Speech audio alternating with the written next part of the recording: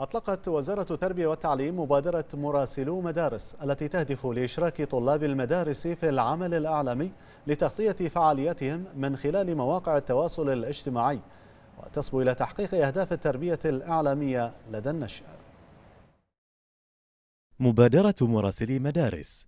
أطلقتها وزارة التربية والتعليم لإشراك الطلاب من كافة المراحل الدراسية في العمل الإعلامي على أرض الواقع لتغطية فعالياتهم وأهم الأحداث التربوية من خلال مواقع التواصل الاجتماعي المختلفة التابعة لوزارة التربية والتعليم وذلك لإعداد مراسلين إخباريين محترفين وتأهيلهم للعمل كمراسلين في المستقبل إضافة إلى تنمية قدراتهم ومهاراتهم الإعلامية وتدريبهم على تقنيات الإعداد للتقارير الإخبارية. طبعا عندنا مبادرة مراسلي ومدارس. هي مبادرة آه، تعطي الطلبة المهارات الإعلامية آه، من أجل أن يصيروا في المستقبل رافد من روافد المجال الإعلامي في البحرين. آه، سواء في مجال الصحافة أو التلفزيون أو الإذاعة وحتى السوشيال ميديا والإعلام الجديد.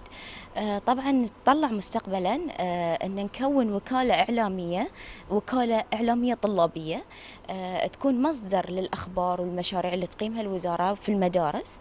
بالإضافة أن نطلع المشاركة طلبتنا باللغة الإنجليزية واللغة الفرنسية ولغات أخرى إن شاء الله مستقبلا في الصحافة المحلية وفي الصحافة العالمية. ويعني نتمنى أن يكون أعضاء إن شاء الله هالسنة. يكون عندنا أعضاء آه، في أسرة مراسلو المدارس من ذوي الإعاقة. يبلغ عدد المراسلين حوالي 25 طالبا وطالبة من كافة المراحل الدراسية. وتعمل إدارة العلاقات العامة والإعلام إلى جانب منسقين في المدارس بالكشف على مواهب الطلبة الإعلامية من خلال الأنشطة المقامة في المدرسة. أنا من ضمن مراسلون مدارس استفدت من مراسلون مدارس أشياء وايد مثل زادت ثقتي بنفسي وقوت شخصيتي وصار عندي القدرة على الحوار. تعلمت من مراسلون مدارس إني أصير جريء أكثر وصرت أثق بنفسي أكثر.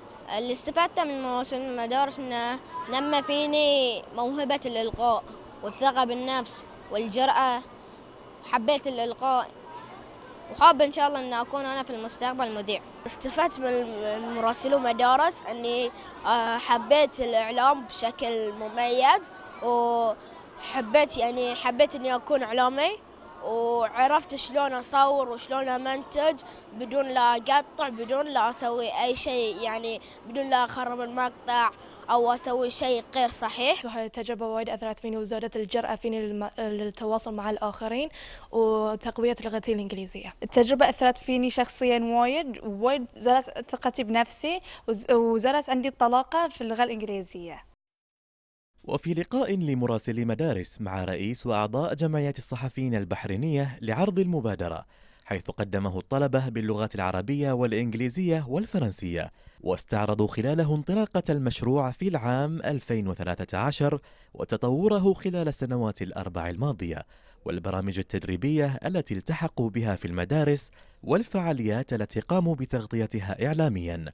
أشاد مؤنس المردي وأعضاء الجمعية بهذه المبادرة والتي تسهم في تأسيس جيل إعلامي ناشئ مؤهل للانخراط في المؤسسات الإعلامية مستقبلا بسهولة ويسر. تجربة أشوفها جدا راقية ومهمة. عندما نرى أطفال في سن مبكرة يكونون هم المراسلون لنقل الأخبار المدارس وعمل المقابلات وهذا هذا الصغير يحمل هذا يحمل هذه التجربة إلى تخرجه. فإحنا قررنا أن إحنا ننشأ لجنة تسمى لجنة المدارس.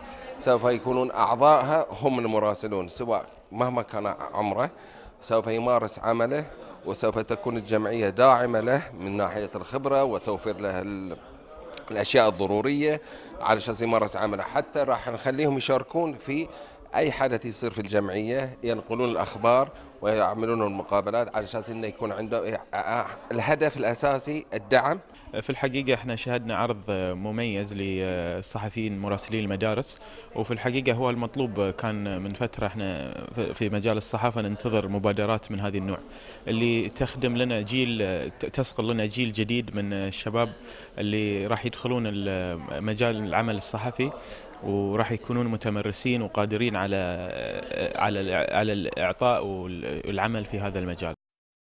مبادرة مراسلي مدارس من المبادرات الرائدة في مجال العمل الإعلامي الطلابي في المنطقة وتستحق الدعم والمساندة باعتبارها رافدا مهما من روافد الإعلام في مملكة البحرين ومساهما أساسيا في تحقيق أهداف التربية الإعلامية لدى النشء.